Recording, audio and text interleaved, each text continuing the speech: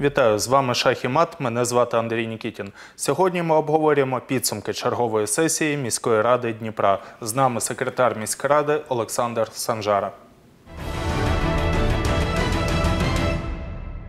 Олександр Санжара, секретар Дніпровської міської ради, освіта Академія митної служби України, за фахом юрист. Професійну діяльність починав як помічник адвоката Бориса Філатова. У 2015 році обраний депутатом Дніпровської міської ради. Тоді ж був призначений виконувачем обов'язків заступника міського голови Дніпра. З 2017 року секретар міськради Дніпра.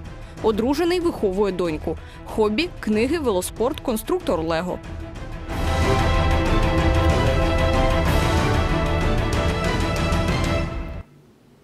Олександр Олександрович, я радий вітати вас у нашій студії. Власне, пропоную почати нашу розмову е, з першого розділу, який розглядали депутати. Традиційно це фінансові бюджетні питання. Е, у ЗМІ була інформація. Про це, до речі, говорив е, по завершенню сесії міський голова Борис Філатов на підході до преси, що виділені додаткові державні кошти для якихось цілей, чесно кажучи, так не пам'ятаю. Думаю, ви нам трохи докладніше розкажете.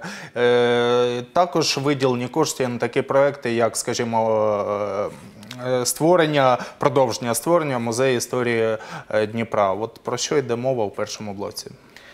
Доброго дня. Сьогодні на сесії дійсно було е, прийнято багато питань, в тому числі бюджетні питання стосувалися розподілу е, державної субвенції. Частина державної субвенції йде на е, вулицю Яворницького, я так розумію, продовження реконструкції. Частина державної субвенції йде на закупівлю. Закупівлю апаратури обладнання для нашого пологового будинку номер 1 Близько 20 мільйонів йдуть на оплату е, медичних е, витрат, тому що в сьогоднішній непростий час е, коронавірусу, коронакриза.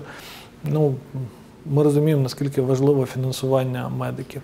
І близько Це я вибачаюся, уточнюю. Це якісь дотації е, адресні це чи субвен- як? субвенція, та держав, державна субвенція на е, певні галузі. Ну і відповідно е, м, так само йде державна субвенція близько 1,3 мільйона е, особам, які мають право на позачергове отримання житла для е, оплати е, придбання житла. Е, Також стосовно державних коштів, е, я так розумію, що це будуть все-таки е, в першу чергу також державні кошти. Борис Філатов говорив про розмороження фактично будівництва об'їзної навколо Дніпра. Ну, Ми пам'ятаємо, що це досить давний такий проект. Його планували ще при радянському союзі. Потім він був заморожений, потім щось почали робити, знову заморозили. От про що там іде мова? Це так, так званий північний обхід. Тобто у нас є пів, південний обхід, який зараз будується, і є північний обхід, там, де з'їзд з Кайдакського мосту, там, де зараз е, стирчать такі бетонні конструкції. Тобто це потрібно е, закінчувати, це потрібно нормально доробити з'їзди з цього мосту. А відповідно, це державне фінансування, оскільки місто не може собі дозволити навіть приблизно такі суми. І сьогодні було прийнято рішення, там, що стосувалося фінансування цього об'їзду. Ми так само і минулої сесії збиралися, так само е, голосували по цій програмі. Мгм. Ну я так розумію, це лише от такі якісь формальні речі да, стосовно документації, яка буде стосуватися власне будівництва, оскільки, ну скажімо, якщо вести роботи, якщо говорити відверто, оцим конструкціям, які стоять е, після з'їзду, ну там вже вони згаржавіли, вже 10 років плюс-мінус пройшло. От як там? А, дивіться, будь-яка робота, яка відбувається в місті, вона все рівно вимагає а, спочатку а, планування, фінансування, а, оскільки все фінансування здійснюється так, так званим програмно-цільовим методом. І вже після цього починається проєктування етап, потім тендер і потім будівництво. Тобто, звичайно, ми зараз кажемо про те, що ми зараз намагаємось е, почати цю всю Бюрократична цю процедуру, складова йде, так. бюрократичну складову для того, щоб можливо було б зафінансувати хоч, хоча б перший транш. Мгм. Е, Так, здається, у дорогому блоці, якщо я не помиляюсь, було питання стосовно інвестиційної програми для КП Дніпроводоканал. Е, Це комунальне підприємство міської е, ради. Тобто на 2022-2026 роки.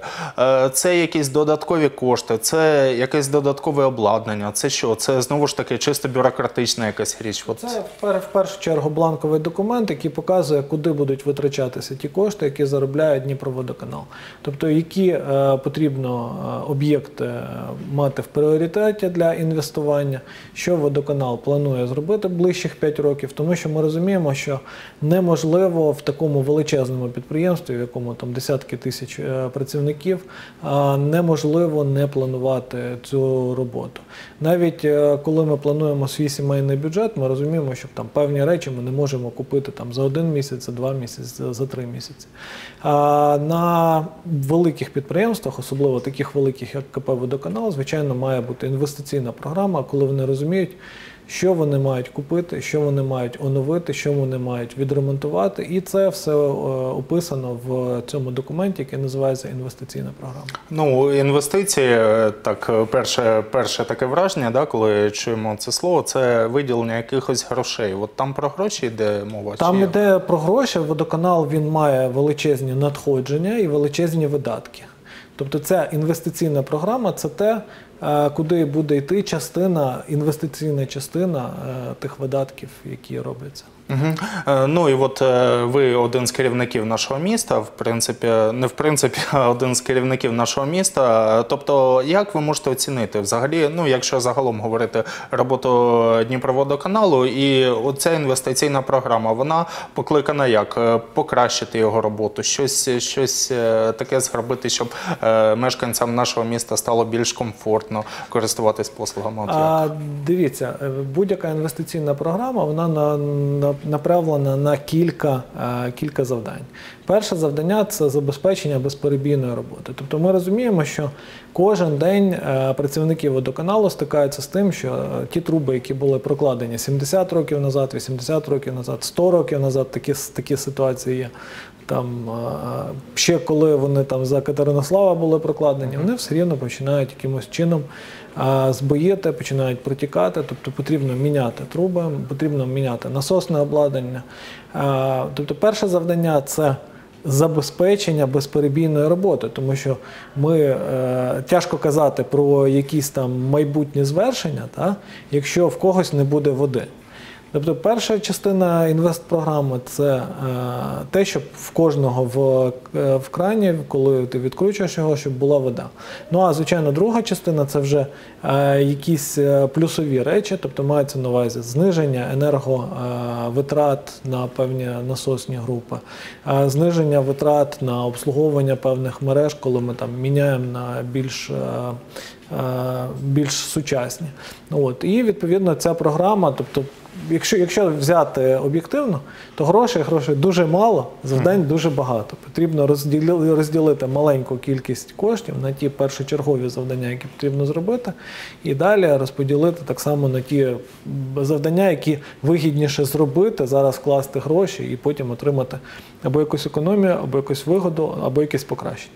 Да, ну я пам'ятаю, до речі, в ефірі в нашому ефірі у цій студії Михайло Лисенко говорив, що в принципі зношеність е, комунікацій, які, якими користується Дніпроводоканал, складає щось близько 900, е, 990 відсотків. Так, е, да, це труби в середньому е, 60 років їм. Да, і тому відповідно е, та вода, яка на виході, да, навіть із-за того, що є такі труби, от вона е, не завжди, так скажемо, придатна до споживання. Ну, подивимось, будемо сподіватися, що воно буде все краще. І, до речі, е, інше рішення, яке було прийнято, це зобов'язати е, чи не зобов'язати, може рекомендувати, пояснити, встановити близько 600 підприємствам е, станції моніторингу повітря, так розумію.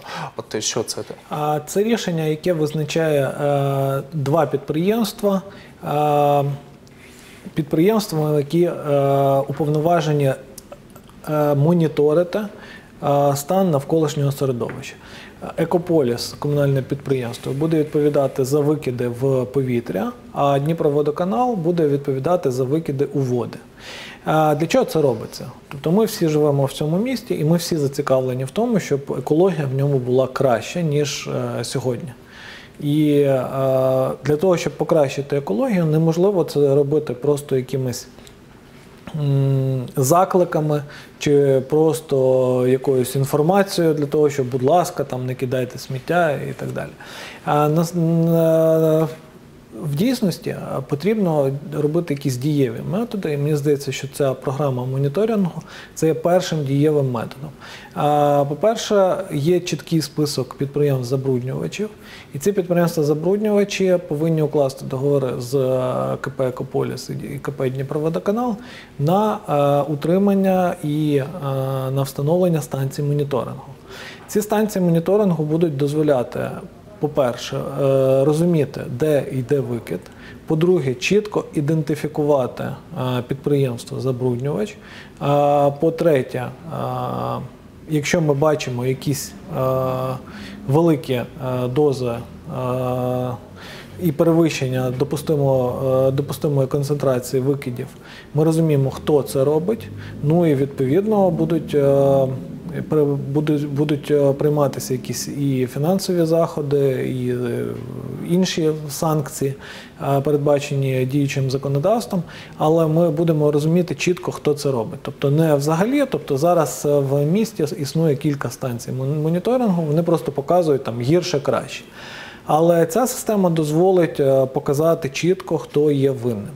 І, звичайно, це може багатьом не сподобатись. Але, е, по-перше, ну, кожен, кому це не сподобається, тобто кожне підприємство, забруднювач, яке буде казати, ні, ми з цим не погоджуємось, ну тобто, відповідно, він хоче продовжувати цю діяльність забруднення. Так? Тобто хтось погодиться, хтось скаже, так, ми е, живемо в цьому місті, нам так само цікаво, щоб е, не було забруднення. Ми є там добросовісними е, платниками, ми є добросовісні е, виробники. Ми Те, що розуміємо. називається соціально відповідальний Так, це соціальна відповідальність, і це ду- дуже важливо. Тобто хтось скаже, так, ми, ми не маємо платити за інших. Тобто, у нас, наприклад, є поставлені фільтри, ми дуже мало викидаємо, але в цьому районі є великі викиди, і вони розподіляються між всіма. І це не зовсім вірно. Хтось скаже, так, ми погоджуємось, так, в нас є фільтри, так, ми хочемо також бачити, хто робить викиди, тому що ми вже в себе ці викиди закінчили, наприклад. А хтось скаже, ні, ми проти цієї програми, ми нічого не будемо е, встановлювати. Ну і тоді місто буде змушене застосовувати певні санкції, в тому числі е, може бути навіть відключене водопостачання або водо, водоскид. А, тому що ми розуміємо, що ну, є підприємство забруднювач, яке викид, викидає величезні там, об'єми в воду. Ну, навіщо, навіщо нам всім користуватися цією водою, дихати цим повітрям? Е, Про ті договори, які ви сказали е, між е, комунальними підприємствами і відповідними підприємствами, я так розумію, це в першу чергу є приватні, е, приватні юридичні особи. Е, Тобто, оці договори, все ж таки, це є певне зобов'язання чи це рекомендація? І якщо цього не буде зроблено, там я не знаю, якісь будуть дужки ганьби чи щось таке. От Ні, як це, це не є рекомендація. А, Знову ж таки, за користування міською землею платять орендну плату. За викиди в атмосферу в місті та платиться екологічний податок. За викиди в води платиться так само певні кошти. Ми кажемо про те, що місто зараз уповноважує два наших комунальних підприємства моніторити зазначені, е, зазначені ситуації. Тобто можна або з цим погодитись, або мати відповідні санкції від міста.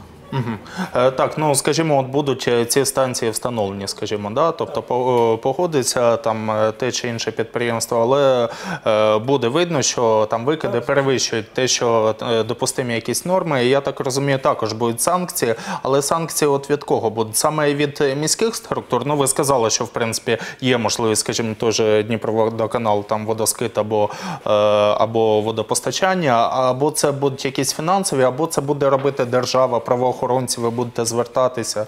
От е, цікаво це. це, це є якраз комплексне запитання, тому що неможливо одним якимось е, методом, одним інструментом вирішити значене питання.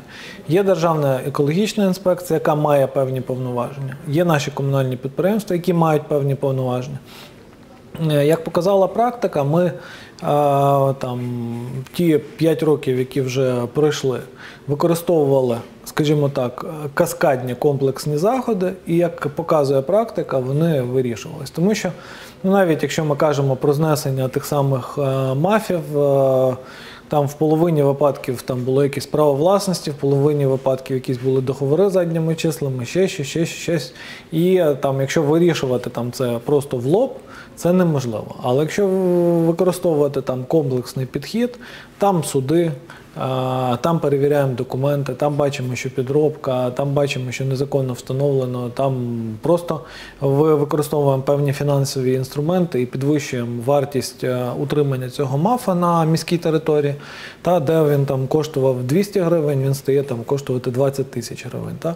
Тобто всі ці інструменти дозволяють разом е, в сукупності вирішити певну проблему. І ви бачите, що кількість мафів там з 6-7 тисяч, коли ми е, в 2015 році були обрані, у нас знизилась там до більш-менш прийнятних 2 тисяч. І ця, ця робота продовжується. Так само і з викидами. Тобто ми будемо використовувати всі можливі е, методи, які нам е, доступні.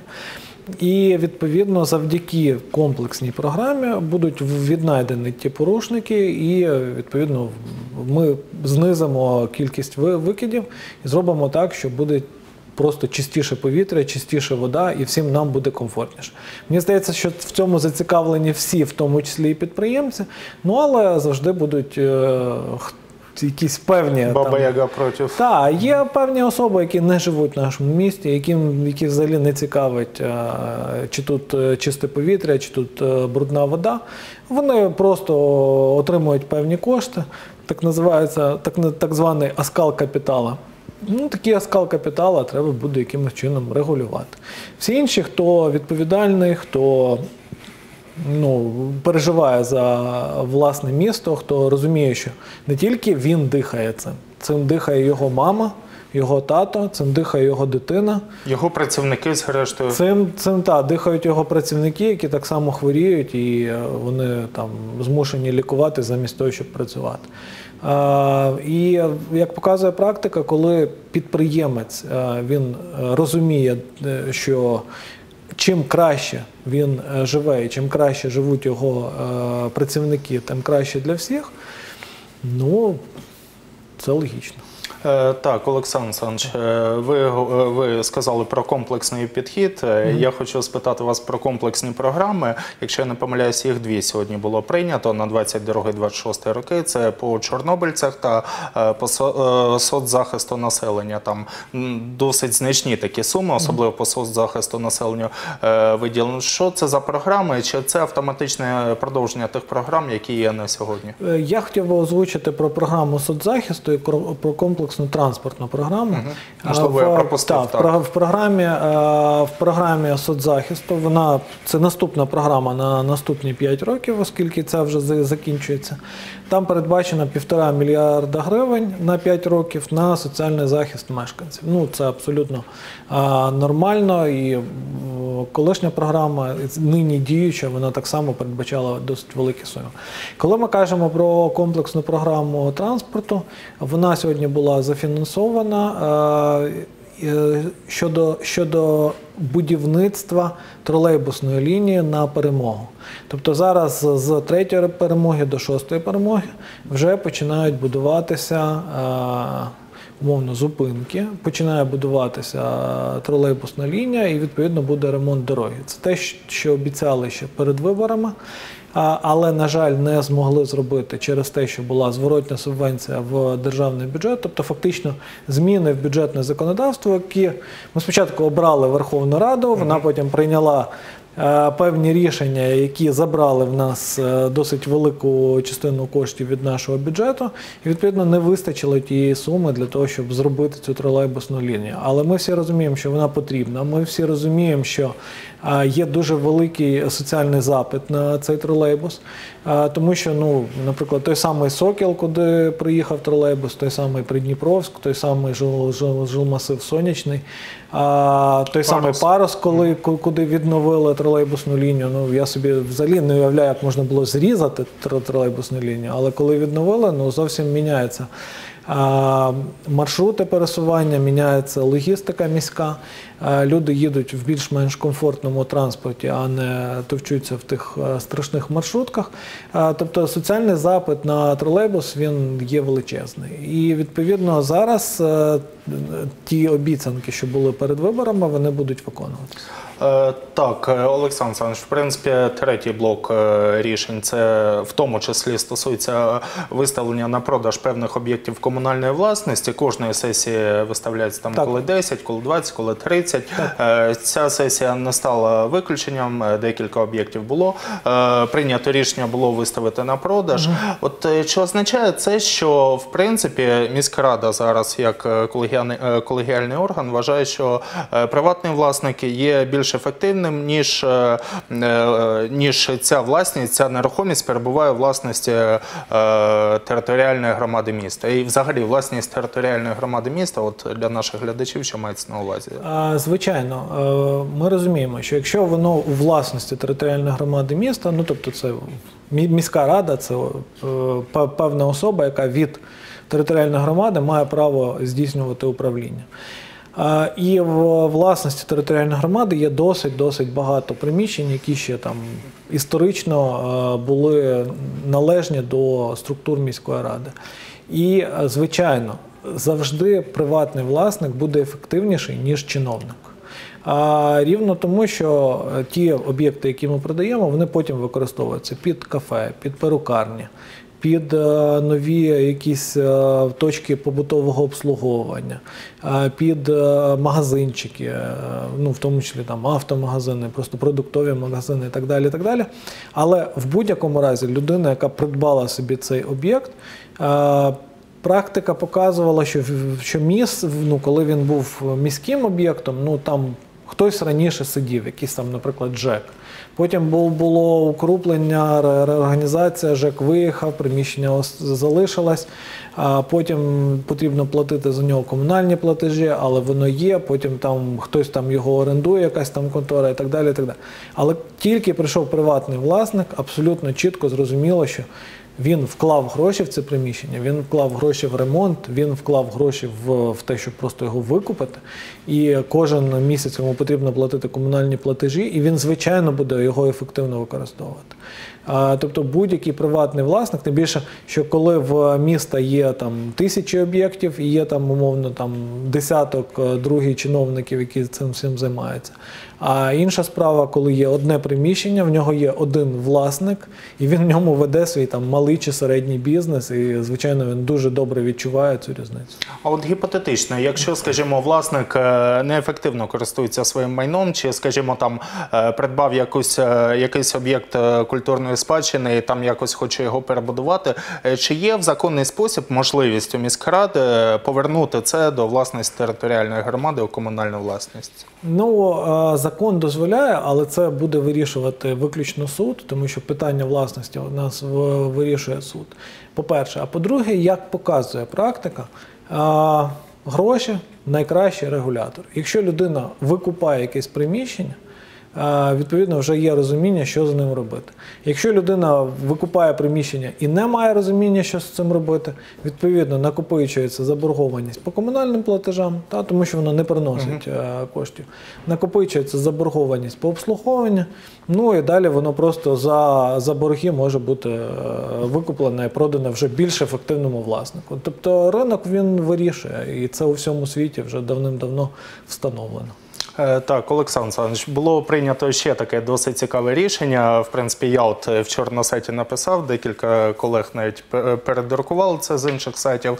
Е, Буде знесено готель е, Жовтневий.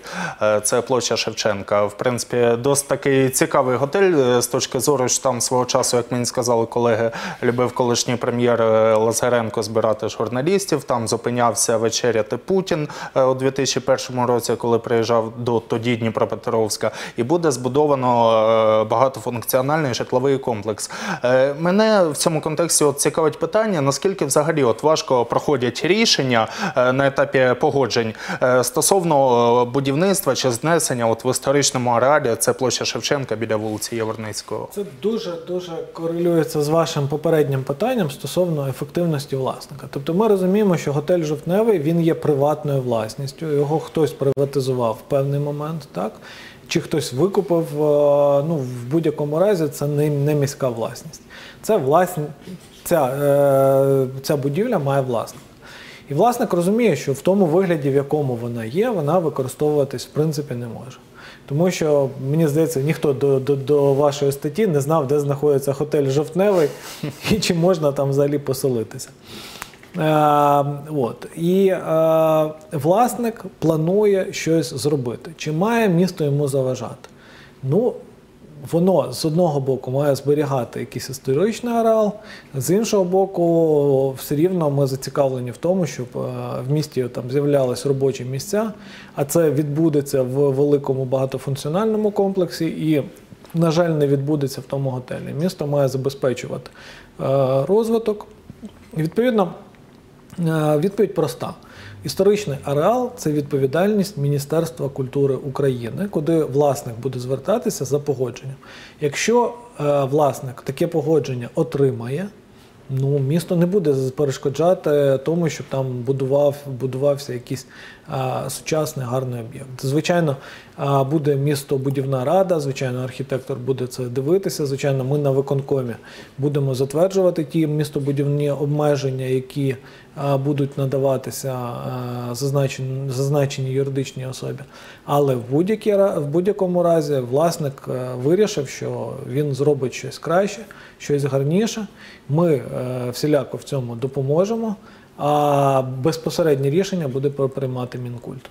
Олександр Олександрович, е, буквально трохи більше однієї хвилини у нас лишається. Останнє питання, яке я хочу задати, було е, прийнято звернення депутатів до центральних органів влади стосовно пільг е, на квартири площею е, менше 85 квадратних метрів. От про що там іде мова, і взагалі наскільки ефективні такі звернення до Кабміну, Верховної Ради президента? Податковий кодекс встановлює пільгове податкування на квартири до 60 метрів. Але ми міською радою встановили пільгове податкування на квартири до 85 метрів, розуміючи, що дуже багато людей, які отримали при е, раніше такі квартири в приватизації, отримали у спадок. Тобто це не є розкішю і воно не, повинно оподатковуватись.